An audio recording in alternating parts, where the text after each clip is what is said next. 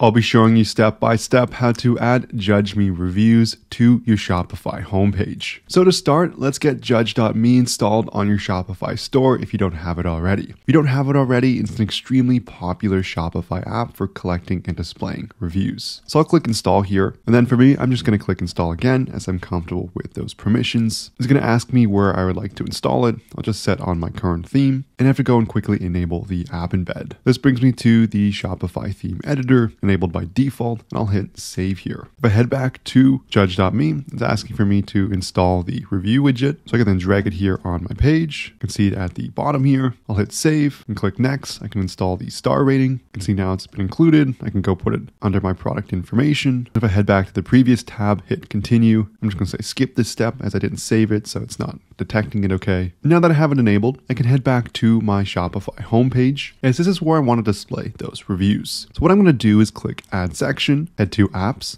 and I can see Judge.me has a bunch of pre-built sections here that I can add to my homepage. I can see sections for verified reviews badges, UGC media grid, star ratings, section for medals, review text, carousels, and widgets. What I want to add is a carousel, so I'm going to select that one there. So now that I've added the review carousel, I can see it on the homepage here. And I added some demo reviews here just so they can be displayed in the review carousel as it doesn't show anything if there aren't any reviews on your store. But if I want to rearrange this, I could put this at the top of my page here if I liked, or any other element on my homepage. There are also other app sections you could add such as reviews text, section for medals, as mentioned, but right now I'm going to stick with the review carousel here. If you've made any money on Shopify, you know how hard it is to keep track of how much profit your store has actually made. And that's where our sponsor Profit Calc comes in the one click profit calculator available for your Shopify store. Once set up, all you have to do is select the date range you're looking for to get real time calculations, along with many other details, analytics, and metrics to give you an advanced understanding of your Shopify store's performance, letting you make smarter business decisions. It's going to sync seamlessly with all your different ad platforms, as well as many cost of goods sold providers such as CJ Dropshipping, ShipHero,